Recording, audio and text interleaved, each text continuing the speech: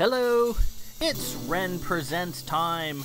I'm your host, Ren, and today we continue with the sixth turn of the Shadowtech Goddess, subtitled Kat. And welcome to part four of the book entitled Bellathauser. This is the final part of the book. We've arrived at last. However, it is also the longest part of the book, so we have that to contend with. Chapter 1 An Old Friend at the Dance. A couple of uh, side notes before we continue with the reading. As I said, this is the final part of the book. However, this part was written long before the initial two parts of the book. As I mentioned previously, I was completely dissatisfied with the character of Kat and how she was developing or not developing, as the case may be. I just wasn't happy with her as a character, as a person. I, I she had she was just flat and no fun and not very interesting. And those are things you got to be concerned with when you're trying to create a, a protagonist for a book. If someone if someone like that falls flat, it's just the rest of the story doesn't work. Isn't that right, Kathleen Kennedy at Lucasfilms? But I digress. So I added much later, after I'd written most of part four, parts one and two to give Kat some life. I think it was successful. I hope you do too. That Kat is a much more interesting character as is than how she was, and she just wasn't very cool. But she was a full-fledged black hat, and so my my technique for giving her some character development was to take away most of her black hat powers, all of her knowledge, her her knowledge in using shadow tech, and shadow tech is extremely potent when used well. In the Temple of the Exploding Head, Countess Sigillis, who gets mentioned every so often in this book, killed over a hundred thousand warriors inside the Temple of the Exploding Head. She did it pretty fast in a confined area, even though the temple was monstrously huge. Still, you're still in a limited space. Black Hat, Shadow Tech females are incredibly potent and can do a lot of damage very quickly, as we see Countess Sigillis killing that many warriors. Kat does not have that knowledge. We took it away from her, but in these chapters coming up here in part 4, I've got her swinging Shadow Tech around like a boss. In what comes ahead, obviously, this is part 4, Bellathauser. They're going to be up against Bellathauser, the demon in blue lights, and they're going to be doing it on her turf, in her horror realm that she's creating. I, those two weren't going to live without Kat's Shadow Tech abilities. Here I am.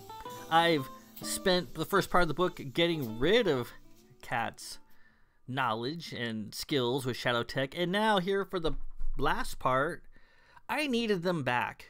You know, even though I'm the author of this story, even though this is all things I've made up, I still have to conform with the rules and conventions that I myself put into the book. I can't just make something up willy nilly and then break all the rules I already established. I have got to follow my own rules. I've got to have a sense of decor. Otherwise, the reader will detect that and check out. In this part of the book, my main goal is to give Kat her power back. Another slight ditty that you might find interesting is this part of the book is a patchwork of little scenes and vignettes that were written in other books that I could not find a home for. You have to carefully self edit yourself when you're writing a book or anything. It could be a screenplay for film or TV. It doesn't matter. You have to be aware of things like plot, like pacing, and so forth. And sometimes you write things that you really, really like, but they just don't fit in what you're working on, or they slow things down unnecessarily, or they just spoil the mood or the tone. I've written lots of things that I love that were little gems, and I had to end up cutting them because they just didn't work. Here we have part four of the book, and there's a few chapters here and there that I wrote initially for other books. So I'd had these little sub stories written in other books and couldn't find a place for them. I just they just never worked out, but I really loved them. So I kept moving them to the ends of the stories and then I'd stick them on jump drives and other other things and keep moving them and it, well maybe this story coming up I can use this little piece or maybe in that story I can use it but never could. Here I found a ripe field for these stories and with a little modification I was able to slip them in, and I think they worked out well. We'll see what you think. I was ecstatic that I could finally use these little things that I really loved and never had the heart to delete. You probably won't even notice unless I tell you, which I, am sure I will, when you come to them. Anyways, let's dig in, shall we? Part 4 Bellathauser, Chapter 1 An Old Friend at the Dance. Not long after Clovis Stenstrom wed Kat in a small ceremony in Tyrol, making her the first Countess of Belmont South Tyrol. It wasn't a well attended affair, as he had withdrawn from League society, and Kat was a social unknown. Just some of his family, many of the cooks from the kitchens whom she had befriended. The post covering the event aired reporting her name, alternatively as Catherine, Catherwold, and Katrine. They couldn't imagine that a brand new countess of a prominent household would have a name as simple as Kat. They did not consummate their marriage for nearly a month after the wedding. Kat, only newly introduced to kissing, knew little of the intricacies of sex, save what Walker had once shared with her. Stenstrom, always a gentleman, wanted to ensure Kat was fully briefed on what was going to be happening between them before proceeding. Kat, sharing his bed, kissing him all night, was eager to try. Kat's rowdy friends, the cooks, had regaled her with all sorts of tawdry stories about their various sexual adventures, all of which she drank up with relish. As with many things, once they finally did get to explore the wonders of making love, Kat was a quick study pulling him nude to the floor where she was most comfortable. Stenstrom had expected Kat to be shy and submissive, following his lead during their intimate encounters. However, such was not the case. She was aggressive and passionate.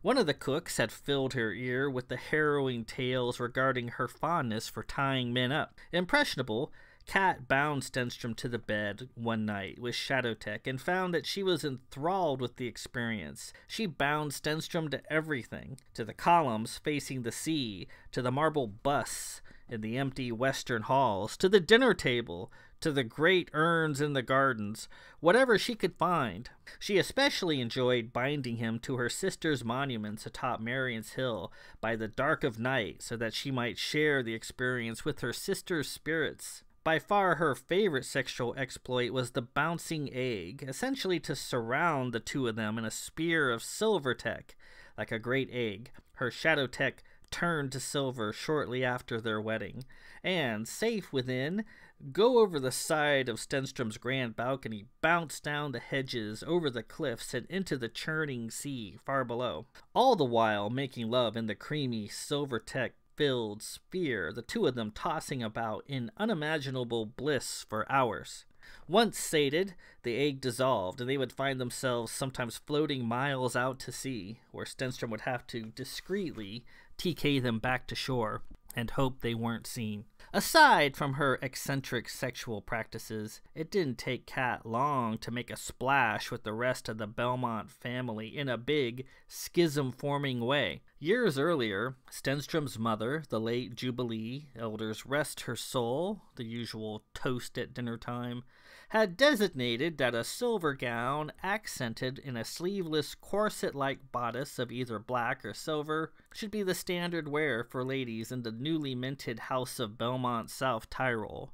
All of Stenstrom's 29 sisters, even the feisty Lyra, had observed their mother's design for years, even after her death, all of them laced up tight like silver dolls. Since the house was created after the marriage of Lady Jubilee to Stenstrom's father, Stenstrom the Older, League law dictated that she could not be the first countess of the house. That distinction would go to the first person married to a male heir, making Kat the first Countess. That foible of law had infuriated Lady Jubilee the whole of her life, and she continually railed against it in Tyrol to anyone who would listen.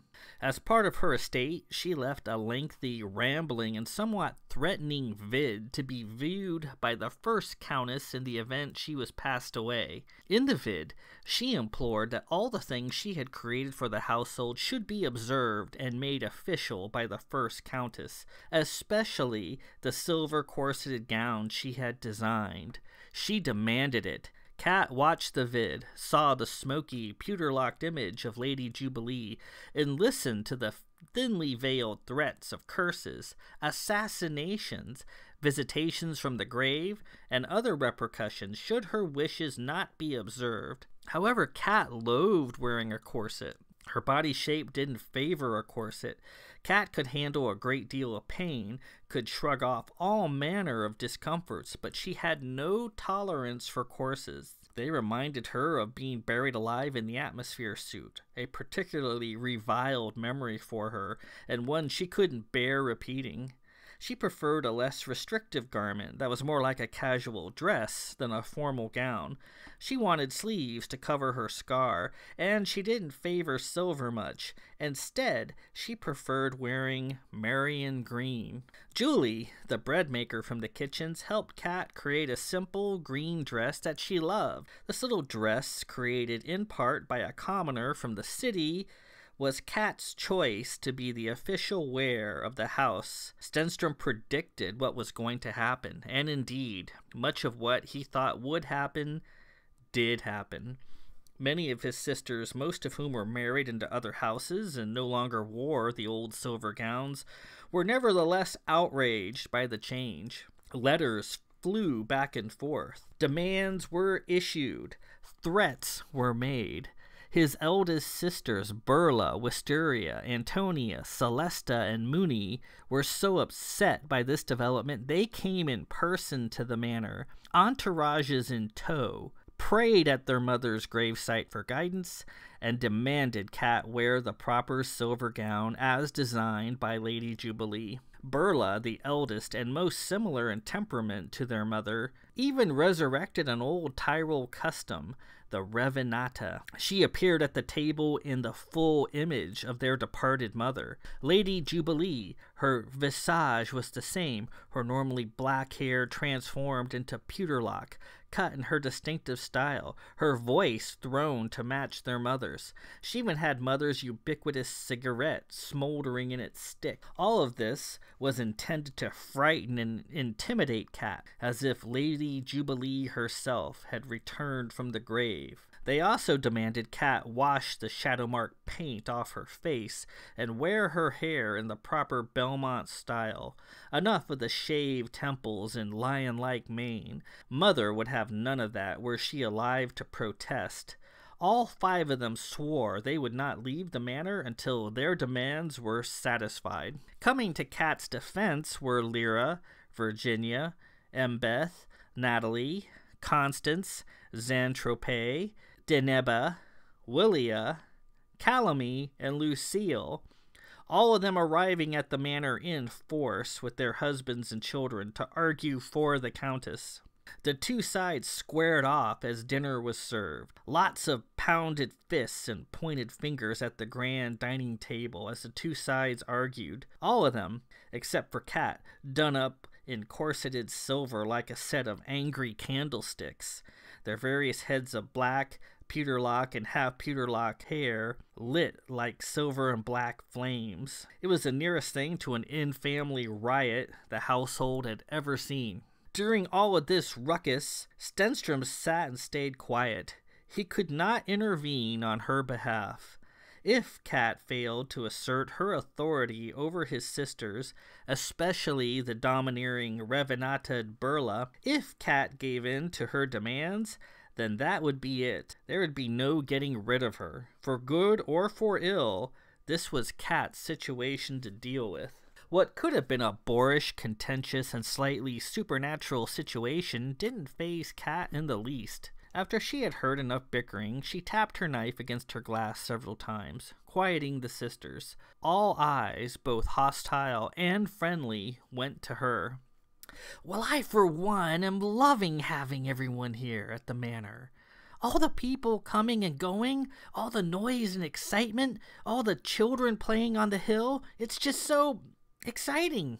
Burla, disguised as their dead mother and full Revenata, the eldest sister of all and Stenstrom senior by 75 years, cast Kat a caustic glance. This is a serious matter, Countess. You, sitting there at my table in a ridiculous green peasant's gown, is unacceptable, and I shall return to my bloody death before I allow it to continue. Lyra and Virginia shot up, ready to have a full go at Burla, regardless of what she looked like. Kat waved them into silence. This was Kat's moment to either assert her authority as the Countess of the house, or to submissively yield to Stenstrom's fierce sisters. Kat spoke, disguising her usual rustic drawl laced with profanity, with a regal voice she had copied from the ladies of Tyrol. I get your feelings on the matter. Your mother, the dearly departed Lady Jubilee, would be proud, and I wish I could have met her in the flesh. And what am I, Countess? Burla asked. You're cloaked to look like the late Lady Jubilee. I'll have to ask my husband later what the point of that is. Regardless, I think I have a solution to this problem. It will be fun. Fun, Countess? Burla asked, fuming. And what would that be exactly? G showed me the lovely chalk house the other day. Down there, near the lane. I'm told it's the official Belmont South Tyrol ballroom. The inside is gorgeous. I loved the padded wallpaper, the chandeliers, and the open dance floor. I meticulously chose the materials and appointments for the chalk house, Burla said. Everything was fretted over and well thought out, including the choice of house gown. Kat ignored that remark, returning to the subject of the chalk house. A beautiful place. So much room to have a party. She giggled. I'm told the Chalk House was destroyed once when a demon came to devour G. Burla's lip curled. If you are referring to my son, Stenstrom the Younger, then yes, you are correct. The Sisterhood of Light sent a demon in the guise of a great fish to devour his soul, nearly destroying the Chalk House, the place where I was wed to my beloved husband in the process. I restored it exactly as it was. Burla still referred to herself as Lady Jubilee. Then it'll be perfect. I propose we have a dance competition, a dance off in the chalk house. We'll hire a couple of bands, get some great food in there, and keep it going. She who can dance the longest without rest or exiting the floor may put an end to this argument one way or the other. Burla was indignant. A dance? What nonsense! We shall not settle this issue with a dance. Who ever heard of such a thing? Cat would not be deterred. It occurs to me that I am the countess of this household, great Burla, not you. I could simply demand that my redesigned gown be the official design, and that's the end of it. And you may return to your manor wearing your mother's face and rage through its halls until the ground shakes. But you are G's sisters. All of you are, and I love the lot of you. Let us enjoy each other's company.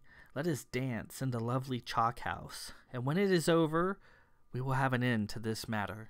Kat's dance had been going on for five days in the chalk house. The grand wooden floor crowded with people swaying to the music, the chandeliers glittering. Four orchestras had been hired, each taking over from the other after playing for hours, the music continuous. The rest of Stenstrom's 29 sisters had arrived from all over the league, some against Kat and her green gown, some for her, mostly determined by age. The younger sisters were for Kat's redesign, and the elders against it. After one day of dancing, the event officially became an Endurocon, a ball that has no set end. Endurocons are always highly anticipated events in League society, and it didn't take long for the dance to take on a life of its own. Word got out. People began showing up to attend in droves, many from Tyrol, many from all corners of Cana and beyond. The Ballwigs, wearing their distinctive har-sprung pendants, arrived in force like a well-dressed, updoed army. Stenstrom was so proud of Kat as the dance went on, his heart full of love. This was truly her moment to shine in front of the whole family, to prove to his sisters that he had made a splendid choice. Kat's energy was boundless. She danced with him for hours until he could take no more and excused himself from the floor. She then moved on to the children of his sisters, wearing them out and winning them over one at a time. As Kat could not leave the floor to eat or to perform the other unmentionables, Stenstrom fed her by lobbing her bits of food from the buffet line that she would catch out of the air with her teeth. Each toss and catch met with the approval of the many children milling about on the floor. Burla, having to make do with an occasional small handheld plates of food, most certainly did not approve. Many of the sisters had already dropped out of the competition. Sabra, Ione, Lenta, Ionia, and Miranda only lasted for an hour or two before leaving the floor to mingle with the other attendees, disqualifying themselves. Stenstrom mused with humor that perhaps their laced up, sucked in corsets might have had something to do with their lack of endurance. Calamy hated dancing and just watched. Nylar, Desiree, Elma, Celesta, Salona, and Io, who had begun the dance against Kat, found themselves changing their minds and siding with her by the third day. Burla, still wearing the guise of her mother and fueling herself with various tinctures and potions, was Kat's lone opponent still in play. There were people everywhere enjoying the dance, most giving Kat their seal of approval. Strangers decked out in gowns of all makes and colors were scattered about the floor and dotting the walls. Ladies smoked from woodsy cigarettes offered them by young gentlemen. Stenstrom was certain Professor Sherlamp hadn't given up. Certainly she would try to send assassins into the chalk house, dressed up in all their finery, to have another go at Kat. Though they were wide open, no advanced security system, no cameras, no sensors dotting the grounds, and an event like this would be fertile ground for an attack, Stenstrom wasn't worried. They had protection. Older, sleepless things guarded Belmont Manor. As he mingled with the crowd, he spied a familiar figure standing by the buffet line holding a plate of food. It was a small man, wearing a dark blue Calvert suit. He was hatless, had short blonde hair combed back away from his face, and wore an odd pair of lenses on his nose. The man gazed across the layers of smoke, out to the ballroom floor, staring at Kat, who was slow dancing with one of Andromeda's sons. He looked at Kat from afar with obvious pride, like a father doting over his daughter. Stenstrom approached the man. Aram! The tiny Aram was all smiles as they embraced, Stenstrom towering over him. Aram had been his friend from the Seeker days, though they had grown apart following Gwen's death. He was one of the people Stenstrom had planned on reconnecting with once Kat was fully settled. It was good to see him. Where have you been, my old friend? he asked. Aram smiled. I've been all over, actually. I'm engaged. I hope to be married soon. Excellent! Congratulations! Are you engaged to anybody I know? Aram thought a moment. No. Well, I hope to be fortunate enough to receive an invitation to your wedding. I know we've grown apart, but I still consider you one of my finest friends. I swear I was going to seek you out. Of course you will. Stenstrom looked about the floor. Is she here, your fiance? I'd love to congratulate her in person. She's far away right now but I know she's watching over us in her special way, even at this moment. She didn't want to create a stir. Uh, a stir? That's not quite what I meant. She didn't want to disrupt Kat's concentration. Stenstrom wanted to get Kat's attention and introduce her to him, but Aram balked. Hey, um, if you have a few minutes, I need to have a word with you. I'd like to share a few things, if I may. Sure, in private, please. Aram selected a few more things off the buffet line, and they went out into the night air. The grounds and damp cobbles of the lane lit up in the soft glow of festive lamps.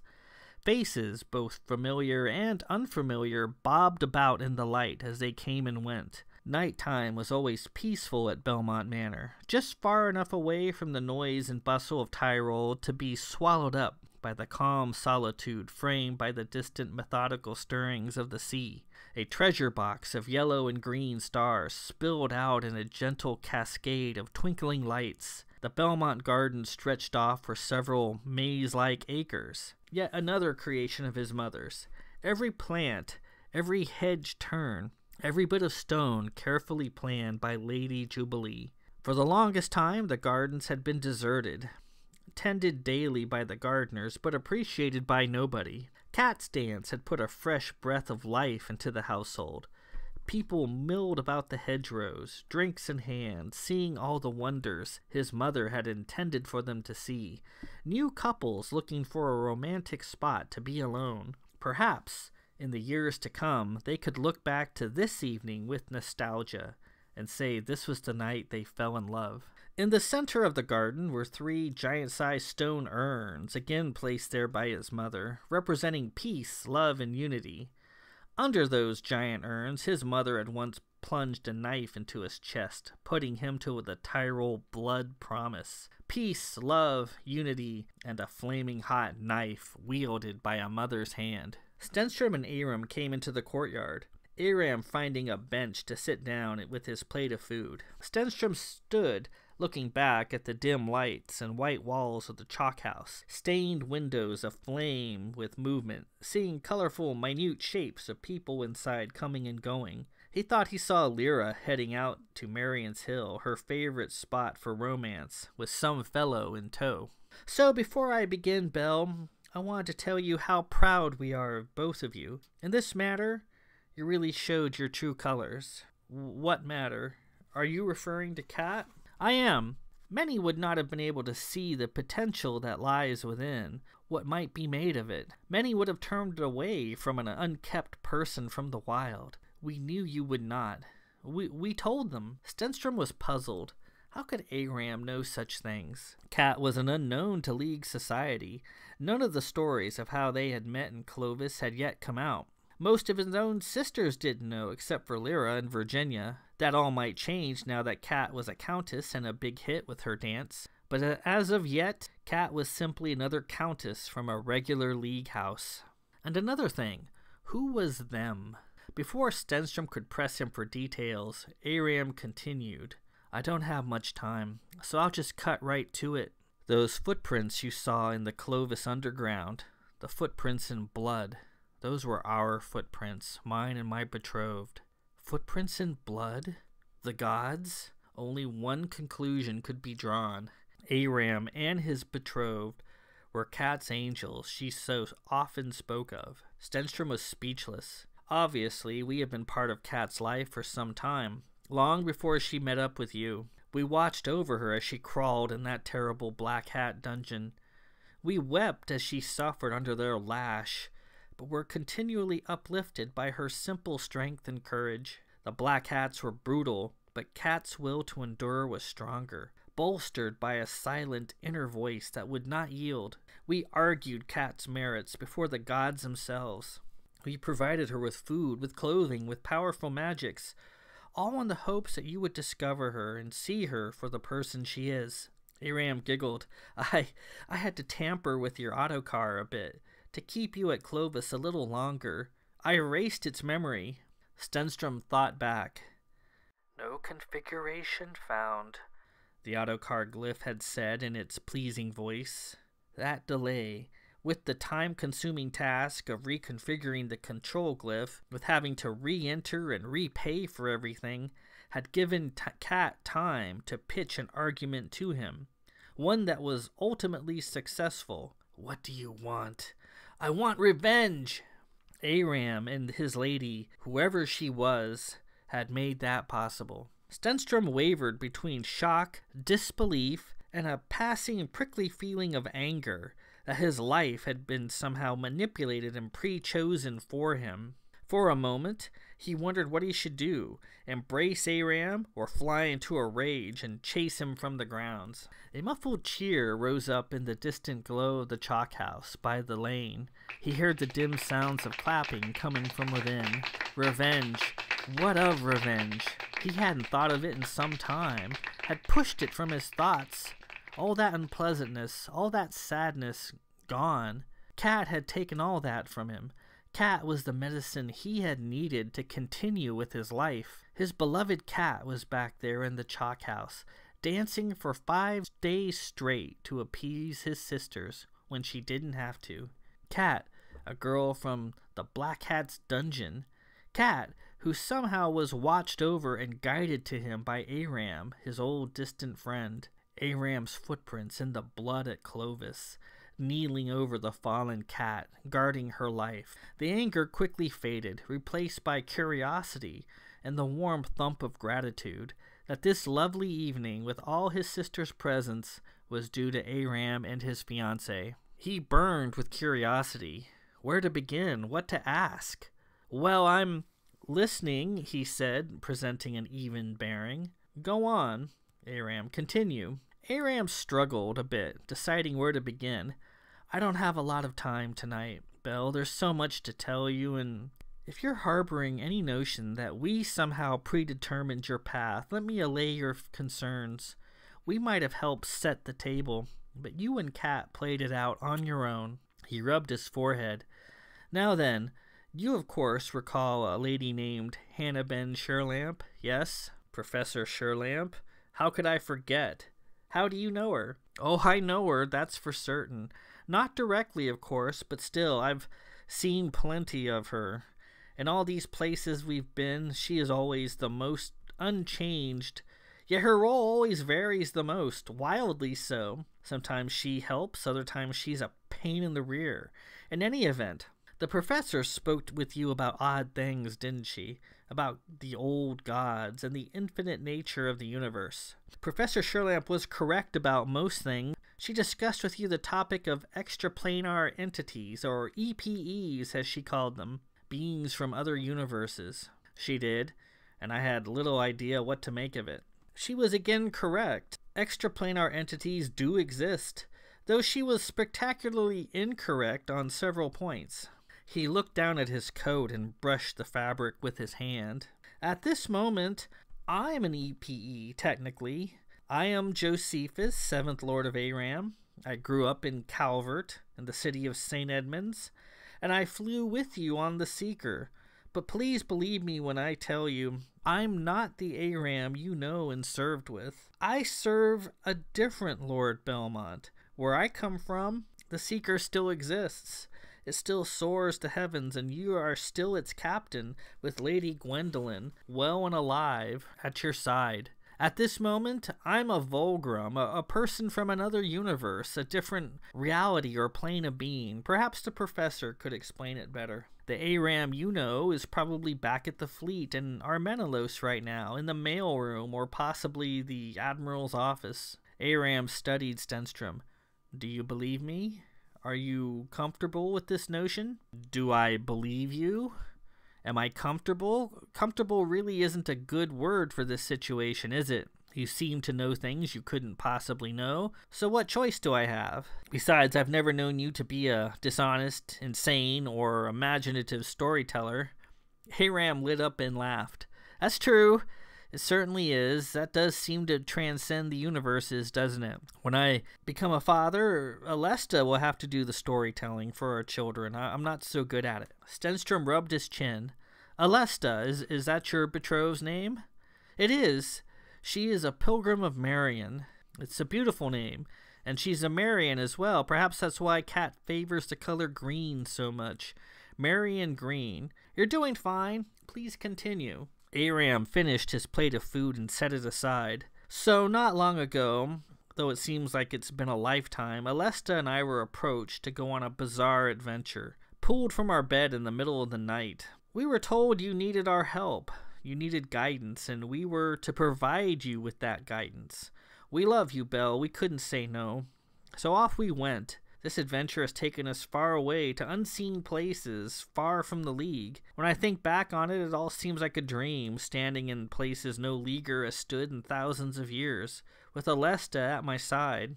Seeing wonders I find difficult to describe, and we've not just traveled from one place to another, we have spanned the universes, like one might cross an ocean. I have, to date, had the honor of guiding five other versions of yourself as we venture farther away from our home universe. Things get a little stranger every time. In in one universe, you happen to be a woman, Belle, a tiny, comely woman. That was um, that was remarkable to say the least. Alesta and I have put our marriage on hold until we finish this adventure. Stenstrom was full of questions. Well, I appreciate that. First off, who put you to this task and why? I've been asked that question by you five different times already, and each time my answer is a little bit different as I learn more.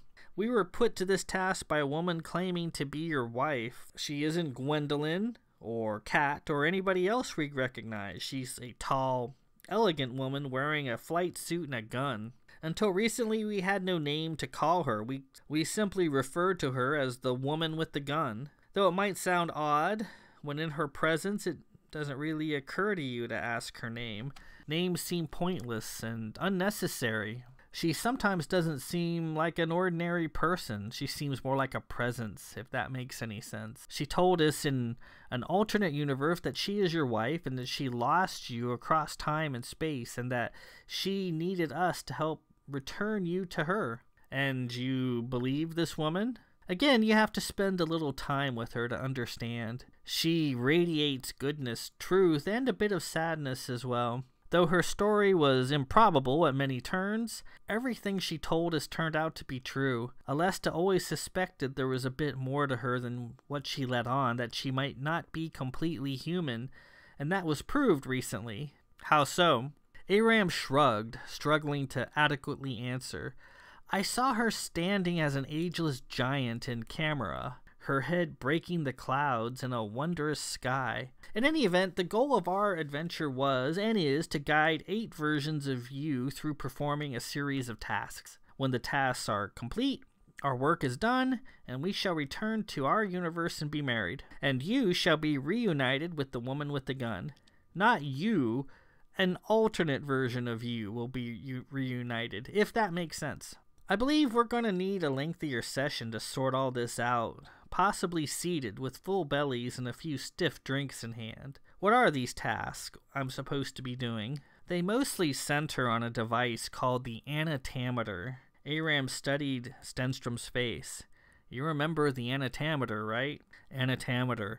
Placed in Clovis, lost in Clovis, stolen by a demon. The anatameter, it doesn't look like much, but it's an incredibly potent arcane device created by gods. Between every universe is a threshold known as the Hall of Mirrors. If you wish to traverse the planes, then you have to first cross through the hall.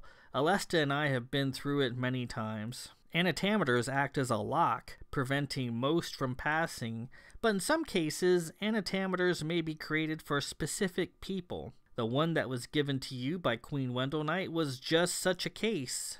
The woman with the gun petitioned the gods of Camera, and they created one designed for you. What it does is alter fate or divine providence, something to that effect. When the knob is turned by seven different versions of you, then the situation will be ripe for the woman with the gun to be reunited with a new version of you. That's what we've been told but I lost it in Clovis. The vile creature that killed Gwen stole it. More clapping from the chalk house. People, gowned, colorful like jelly beans, filed out into the night air. Aram stood. I know, and it's of critical importance that we retrieve it. I'm not exaggerating when I say that. We must retake control of it. A tiny blonde headed form in green wobbled out, greeted by more clapping. The figure made its way into the garden. It was Kat, a bit disheveled after five days of dancing, carrying her shoes. Gee! she called. Where are you? Aram's eyes grew wide. I don't want Kat seeing me tonight. She's been dancing for days. She's exhausted. She believes I'm a, a god or an angel or whatever. Seeing me might be too much of a shock for her. Alesta and I will return in four days at the top of Marion's Hill. We will reveal ourselves to her at that time when she's rested. Then I hope you will be ready to hear our guidance and get the anatameter back as soon as possible. Much rides on that. I hope you will heed me. I look forward to meeting this Lady Alesta. And she you. I must go. He headed farther back into the hedges. Four days, Belle. Just then Kat entered the courtyard. Gee! she exclaimed on seeing him. She came up fast and threw her arms around him. I won, G. Berla gave up. She even let her weird dead mother disguise go. She's really pretty without the disguise. She embraced me, said I'd earned her respect, and was headed straight to bed. She looked really tired. I'll bet. I've made so many friends. All your sisters are unbelievable. What are you doing out here in the dark? Just talking to an old friend. Kat looked around. Oh, a friend? Where'd he go? Aram and his betrothed were Kat's angels. We don't want to create a stir, Aram had said. Aram was gone. Stenstrom saw a bit of fog rolling away to the north. I'm sure he's around somewhere. Kat leaned back and gave a prodigious jaw popping yawn. Oh, I'm so tired. Take me to bed, G. I could sleep for a week. Arm in arm, they made their slow way out of the gardens, towards the manor. So, how did you manage to go five days without visiting the bathroom? he asked. Lady Secret, G. You know, I danced with every one of Antonia's sons. I don't remember how many. And then you know what I did? What, Kat? I danced with her daughters, too. She has a lot of kids. She certainly does. His heart full of love for Kat, Stenstrom took her to bed, she too tired to complain about the mattress. He would worry about gods and demons and anatameters later. And with that, we conclude part four, chapter one An Old Friend at the Ball. This is obviously a segue chapter that I created just to usher in the final part of the book. It was the best way I could think of to bridge the previous part with this one. So Aram reintroduced himself to Lord Belmont and put his cards on the table. It was what he had to say was weird and kind of strange to listen to, but he he knew enough that Stenstrom couldn't just write him off out of hand. In four days, he plans to return and tell all to both Stenstrom and Kat. He needs to get off his duff and go get the anatameter, and we know where it is. It's with the demon in blue lights and her horror realm that she's creating. That chapter was indeed a segue to the rest of the book. Next chapter, chapter 2, The Hall of Mirrors, and we proceed with the quest to get to the demons with blue lights and recover the anatameter and have revenge on the demon. In uh, this chapter, I figured, you know, sometimes little things make a big deal. In my family, little things have led to big fights and feuds and hurt feelings, and I figured the whole dress thing would really create a buzz in a bad way with the families. His sisters, some of them would be outraged, while some of them would be okay with it. In any event, I figured that Kat would want to show his sisters respect, even though she wasn't getting a whole lot in return. That's just the sort of person she is. So, next week we continue Chapter 2 The Hall of Mirrors, and the quest for the anatameter begins in earnest. And we'll see what you think of some of my choices as Kat needs her power back Otherwise, these two are going to die. Anyways, this is Ren Presents. I'm your host, Ren. Peace out.